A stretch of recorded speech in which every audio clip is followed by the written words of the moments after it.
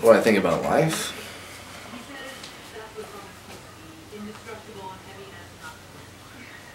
Shit.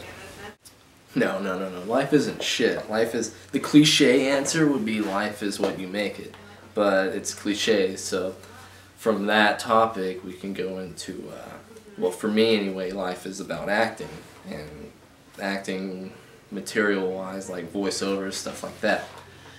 And other people would be like their life would be like police or something like that, or dealing with children. So essentially, for me, life is about making other people happy or sad, depending on what role I'm playing.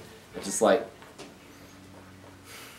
for me, life is attention. Without attention, I'm not really living. It's a weird one.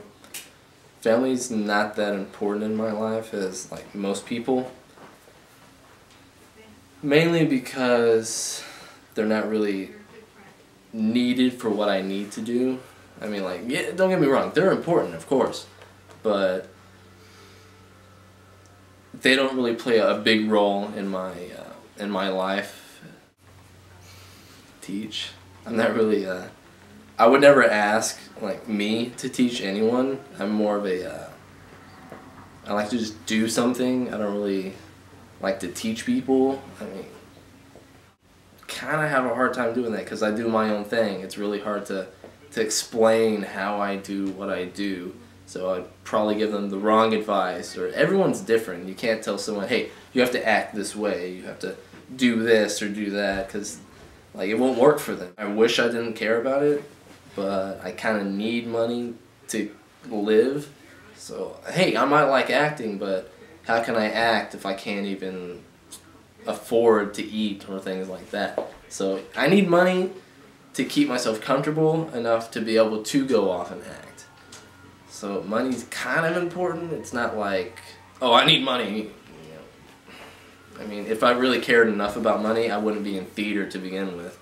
Theater money's shit. So I'm pretty sure for most people or other people, like relationship wise, uh, more than just friends, like a I guess significant other, that would really help them or it would provide stability in their life. But for me, I mean, friends is fine. I'm, I'm not out there looking for a, a significant other because they most of them won't understand actor's life.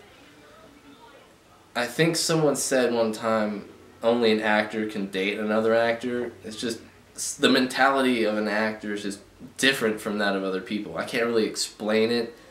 It's it's about the how they act and how they communicate. And, like your everyday average person, they wouldn't understand and end up fighting with each other, things like that.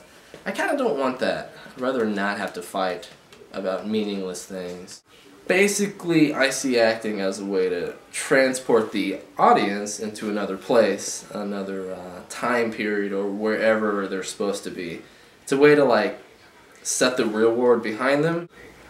I want to be remembered as that actor that everyone wants to work with, just for being fun. Not necessarily the best actor, but I'm not saying I'm terrible. I just people want to work with me because I'm fun to work with, and people like Russell Crowe and stuff. Yeah, they're good, but they're also complete assholes. Like no one really wants to work with them, other than the fact like, hey, I was in a movie with Russell Crowe.